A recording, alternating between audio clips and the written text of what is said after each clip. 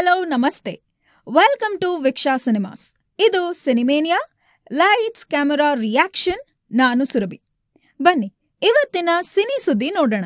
ಈಗ ಒಂದು ವಾರ ಮುಂಚೆ ಅಷ್ಟೇ ನಮ್ಮ ಒಡೆಯ ಡಿ ಬಾಸ್ ಅವರ ಕಾಟೇರ ಮೂವಿ ಟ್ರೈಲರ್ ರಿಲೀಸ್ ಆಯಿತು.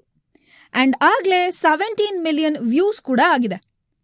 ಎಲ್ಲ ಕನ್ನಡ ಜನತೆ ಒಂದ್ ಕಡೆ ಡಿ ಬಾಸ್ನ ಟ್ರೈಲರ್ ರಿಲೀಸ್ ಆಯ್ತು ಅಂತ ಖುಷಿಲಿ ಸಂಭ್ರಮ ಪಡ್ತಿದ್ರೆ, ಇನ್ನೊಂದ್ ಕಡೆ ಟ್ರೈಲರ್ ಅಲ್ಲಿ ಅಂತಹ ಒಂದು ಡೈಲಾಗ್ ಇಂದ ವೈಲ್ಡ್ ಲೈಫ್ ಪ್ರೊಟೆಕ್ಷನ್ ಅಂದ್ರೆ ವನ್ಯಜೀವಿ ಸಂರಕ್ಷಣಾ ಮಂಡಳಿಯವರು ಕರ್ನಾಟಕ ಚಲನಚಿತ್ರ ಮಂಡಳಿಯವರಿಗೆ ದೂರು ಸಲ್ಲಿಸಿದ್ದಾರೆ. ಯಾಕೆ ಈ ದೂರು? ಅಂತಹದ್ ಏನಿದೆ ಆ ಟ್ರೈಲರ್ ಅಲ್ಲಿ ಈ ಫಿಲಂನಲ್ಲಿ ಜಗಪತಿ ಬಾಬು ಅವರು ವಿಲನ್ ಆಗಿ ನಟಿಸಿದ್ದಾರೆ. ಅಂಡ್ ಅವರು ರೈತರನ್ನ ಹಾವಿಗೆ ಹೋಲ್ಸ್ಕೊಂಡು ಒಂದು ಡೈಲಾಗ್ ಹೇಳ್ತಾರೆ. ಇವರೆಲ್ಲ ಹಾವ್ಗಳಿದ್ದ ಹಾಗೆ. ವಿಷ ಇಲ್ಲ ಅಂದ್ರೆ ಹಿಡಿಬೇಕು, ವಿಷ ಇದ್ರೆ ಒಡಿಬೇಕು ಅಂತ. ಒಡಿಬೇಕು ಅಂದ್ರೆ ಕೊಲ್ಲಬೇಕು ಅನ್ನೋ ಅರ್ಥ ಬರುತ್ತೆ ಅಂತ ಹೇಳಿ ಇದು ಐ ಪಿ ಸಿಯ ಪ್ರಕಾರ ಉಲ್ಲಂಘನೆ ಹಾಗೂ ವೈಲ್ಡ್ ಲೈಫ್ ಪ್ರೊಟೆಕ್ಷನ್ ಆಕ್ಟ್ ಪ್ರಕಾರ ಉಲ್ಲಂಘನೆ ಅಂತ ಹೇಳಿ ವನ್ಯಜೀವಿ ಮಂಡಳಿಯವರು ದೂರು ಸಲ್ಲಿಸಿದ್ದಾರೆ. ಮುಖ್ಯವಾಗಿ ಇವರ ವಾದ ಏನಂದ್ರೆ ಹಾವುಗಳು. ಅದರಲ್ಲೂ ವಿಷಭರಿತ ಹಾವುಗಳು ಈಗ endangered species ಆಗ್ತಿವೆ. And all venomous species should be protected under schedule one ಅಂತ ನಮ್ಮ ಅಮೆಂಡ್ಮೆಂಟ್ ಅಲ್ಲೇ ಇದ್ದಾಗ ಈ ರೀತಿಯ ಡೈಲಾಗ್ ಬಳಸೋದು ತುಂಬಾ ದೊಡ್ಡ ಕ್ರೈಮ್ ಅನ್ನೋದು ಇವರ ಹೇಳಿಕೆ. ಟ್ರೇಲರ್ ಲಾಂಚ್ಗೆ ಮಾನ್ಯ ಮುಖ್ಯಮಂತ್ರಿ ಸಿದ್ದರಾಮಯ್ಯ ಅವರು ಕೂಡ ಉಪಸ್ಥಿತರಿದ್ರು.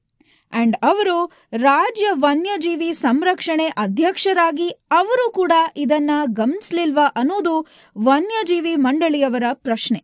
ಟ್ರೈಲರ್ ರಿಲೀಸ್ ಆದ ದಿನಾನೇ ಡಿ ಬಾಸ್ ಹಾಗೂ ರಾಕ್ ಲೈನ್ ವೆಂಕಟೇಶ್ ರವರ ವಿರುದ್ಧ ಫಿಲಂ ಬೋರ್ಡ್ಗೆ, ಆನಿಮಲ್ ಬೋರ್ಡ್ಗೆ ದೂರು ನೀಡಿದ್ರು.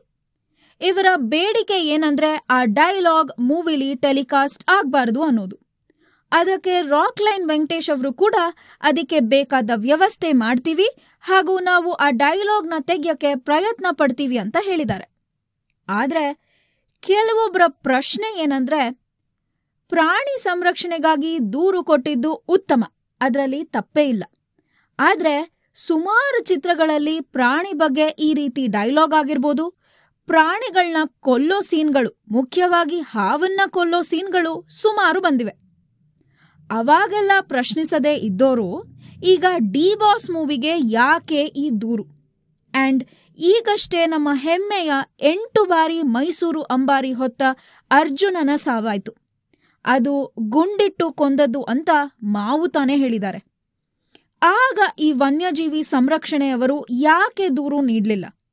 ಅದರ ಡೀಪ್ ಇನ್ವೆಸ್ಟಿಗೇಷನ್ ಯಾಕೆ ಆಗ್ತಿಲ್ಲ? ಅದಲ್ಲದೆ ಈಗಷ್ಟೇ ಹುಲಿ ಉಗುರು ಸಮಸ್ಯೆ ಕೂಡ ಆಯ್ತು. ಅದು ಕೂಡ ಎರಡೇ ದಿನ ಸದ್ ಮಾಡಿದ್ದು. ಆಮೇಲೆ ಶಾಂತವಾಗೋಯ್ತು.